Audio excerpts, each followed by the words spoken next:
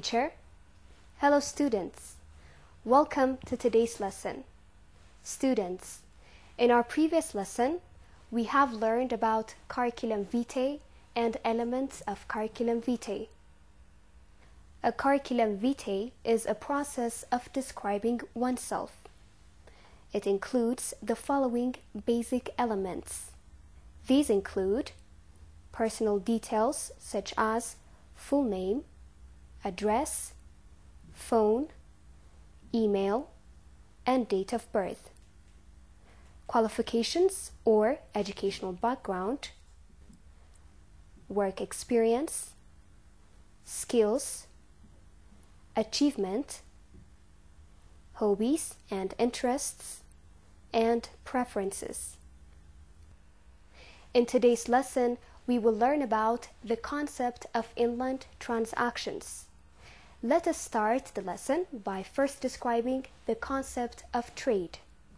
Trade is the business of buying, selling, or exchanging goods within a country or between countries. It is the major component of business that solves the basic and fundamental problems of commercial activity. To perform the trading activity, there must be the exchange process.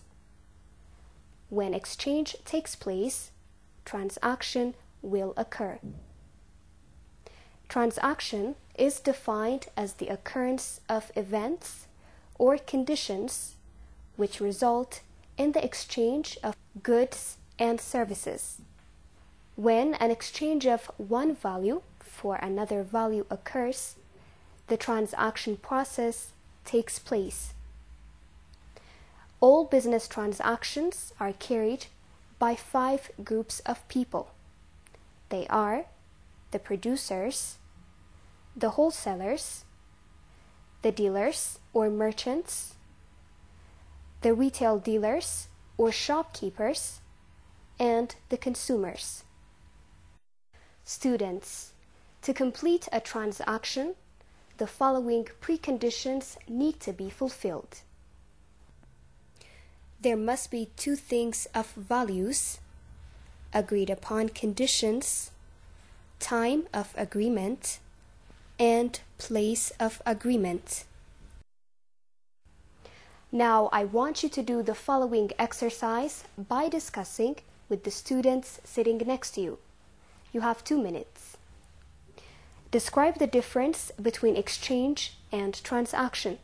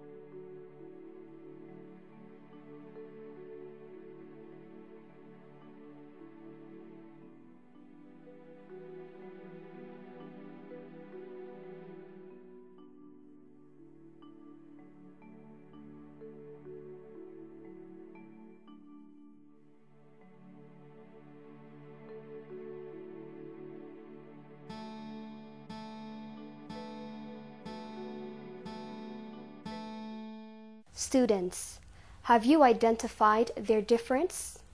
Good. Exchange and transaction are different, but they are interrelated concepts. Exchange is the act of taking anything from someone by offering something in return. It is a giving and taking process, whereas transaction is a marketing unit of measurement that states the trade value of goods and services in the exchange process. Students, let us discuss the concept of inland transactions and the basic documents involved in it. Inland transactions take place when payments are made in national currency or through the national bank system on behalf of internal or homeland trading activity. The inland business transaction needs some important documents or papers or letters which are very useful for facilitating the exchange of goods and services. These include inquiry, quotation, order or indent, invoice or executing the order, and documents of payment for goods. Students, let us discuss each of them. The first business document in inland transaction is inquiry. Inquiry is a letter sent by the buyer to the seller asking for the price of goods that he or she thinks of buying. We write an inquiry when we want to ask for more information concerning a product, service, or other information about a product or service that interests us. Let us discuss each of them. The first business document in inland transaction is inquiry. In other words, it is a request for information which is sent by the buyer to the seller that states the following conditions the type of goods, the quantity of the product, the quality of goods, the price of goods can be obtained, the term of delivery, and the term of payment. The second basic document of inland transaction is quotation. In business, a quotation is a document that a vendor or service provider would give to a customer to describe specific goods and services that they may provide and its cost. It is an offer by the seller to sell certain goods at a price under conditions that are clearly stated. When quotation is prepared, the following condition should be stated. Subject to accept within seven days or a specific time of the date of quotation, the quantity, quality, terms of delivery, and terms of payment. The third basic document of inland transaction is the order or indent. It is defined as a document is sent by the buyer to the seller for the supply of goods. It clearly states the terms and conditions under which goods will be acceptable and payment may be effected. The fourth basic document of inland transaction is the invoice. The invoice is also known as executing the order. An invoice or bill is a commercial document issued by a seller to the buyer indicating the products, quantities, and agreed prices for the products or services the seller has provided the buyer. The last basic element of inland transaction is the document of payment for goods. Buyers should pay sellers for the goods and services using various means of payment. These documents of payment are cash, check, and promissory notes. The following diagram illustrates the flow of transaction documents between buyers and sellers. The buyer, who buys certain goods, the seller, who sell certain goods, inquiry from the buyer to the seller, quotation from the seller to the buyer, the order from the buyer to the seller to purchase products, the documents of payment from the buyer to the seller after the product has been sold, and the invoice from the seller to the buyer. Now I want you to do the following exercise by discussing with the students sitting next to you. You have two minutes. Explain the difference between inquiry and quotation.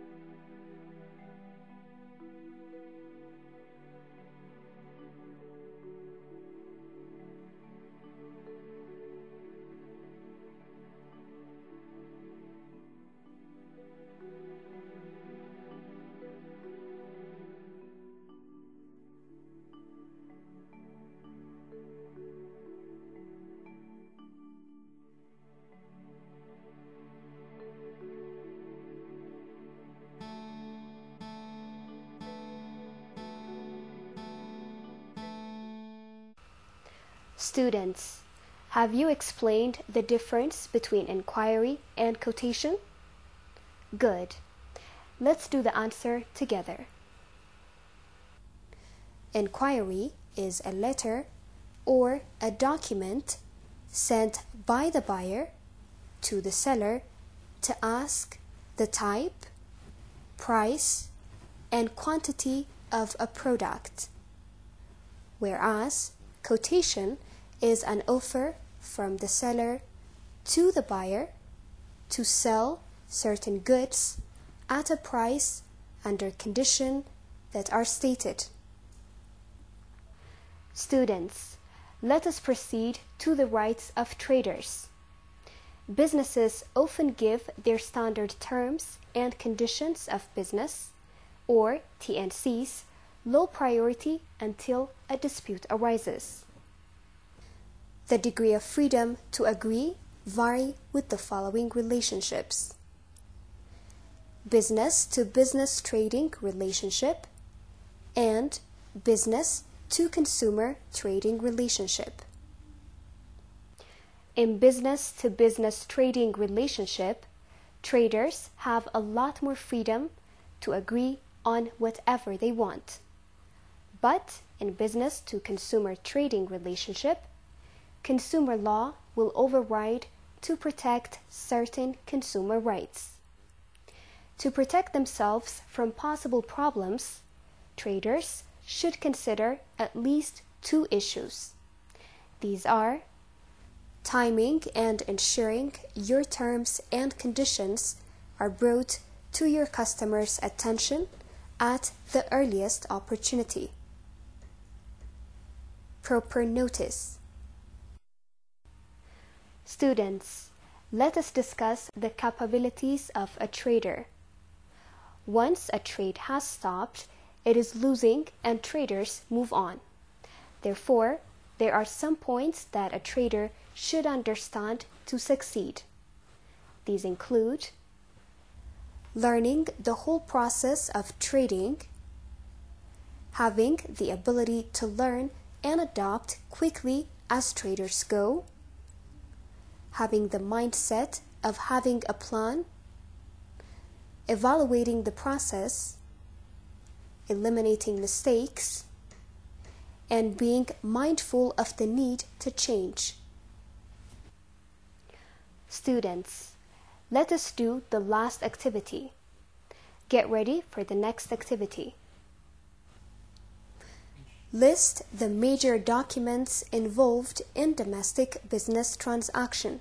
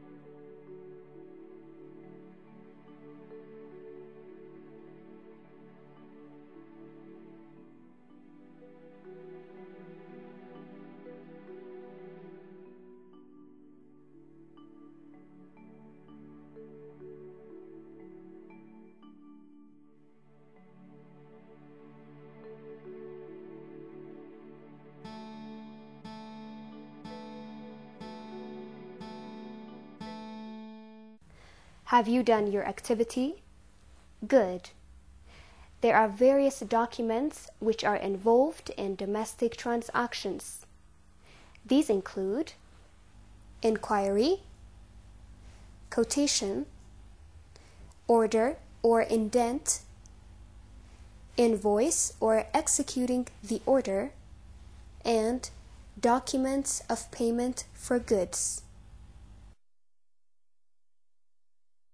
Let us conclude today's lesson by summarizing the main points.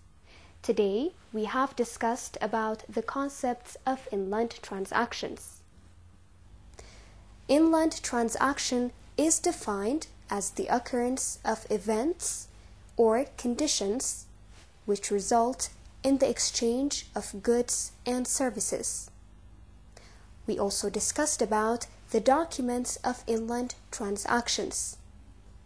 These are inquiry, quotation, order or indent, invoice or executing the order, and documents of payment for goods.